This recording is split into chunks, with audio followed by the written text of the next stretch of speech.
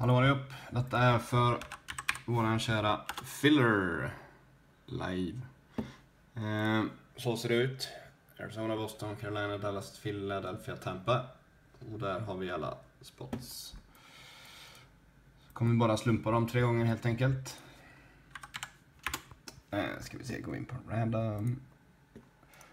Kör vi som vanligt två. En. Två.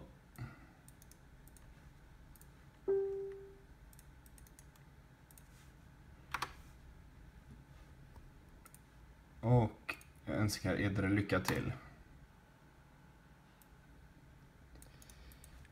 Kopiera och klistra in. Så blir det det. Grattis, du fick en Magnus. Den dyraste också. ha det gott allihop.